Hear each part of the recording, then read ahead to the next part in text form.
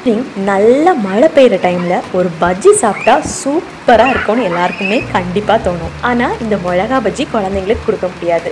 Potato பஜ்ஜிலையும் வாழைக்காய் பஜ்ஜிலையும் கொஞ்சம் case இருக்குது. அதனால அவங்களுக்கு இம்யூனிட்டி பூஸ்ட் பண்ணி கோல்டெல்லாம் வராத மாதிரி ஒரு சூப்பரான பஜ்ஜி பண்ணலாம். அதுதான் கற்பூரவல்லி இல்லைன்னா ஓமவல்லின்னு சொல்லக்கூடிய இலையில பண்ணக்கூடிய கற்பூரவல்லி இலை பஜ்ஜி. இந்த இலையில பண்ணக்கூடிய பஜ்ஜி அப்படியே இலை ஷேப்பில் இருக்கிறதுனால அவங்களுக்கும் இது ரொம்ப பிடிக்கும். இப்போது நம்ம வீட்லேயே ஃப்ரெஷ்ஷாக இருக்கக்கூடிய ஓமவல்லி இலையை எடுக்க போகிறோம் அதை நல்லா க்ளீன் பண்ணிக்கலாம். நல்லா வாஷ் பண்ண அப்புறமா ஒரு பவுலில் ஒரு கப் கடலை மாவு ஆட் பண்ணுறேன் கூடவே அதே கப்பில் கால் கப் அரிசி மாவு ஒரு ஸ்பூன் மிளகாய் தூள் ஆட் பண்ணுறேன் இந்த மிளகாய் வந்து உங்களுக்கு காரத்துக்கு ஏற்ற மாதிரி நீங்கள் ஆட் பண்ணிக்கோங்க. ஏன்னா ஓமவல்லி இலையில் ஆல்ரெடி கொஞ்சம் காரத்தன்மை இருக்கும். இப்போது தேவையான அளவு உப்பு ஆட் பண்ணலாம்.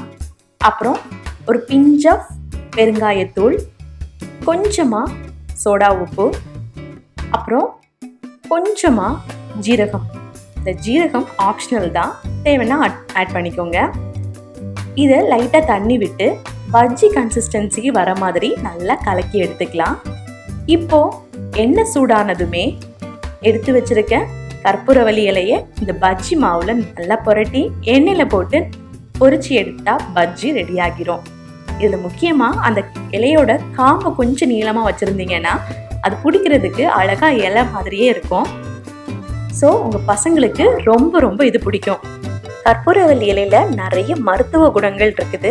முக்கியமாக இந்த சளி கவ்வம் இது மாதிரியான பிரச்சனைகள்லாம் ஈஸியாக அது வந்து க்யூர் பண்ணக்கூடிய தன்மை இருக்கிறதுனால ரெய்னி சீசனுக்கு ஏற்ற பஜ்ஜினா அது கற்பூரவல்லி இலை பஜ்ஜி தான்.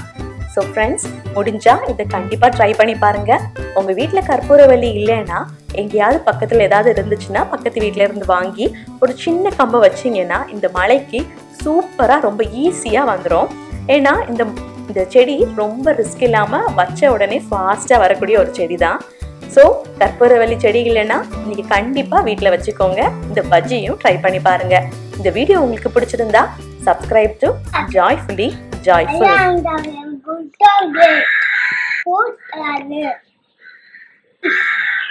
நல்லா தவிர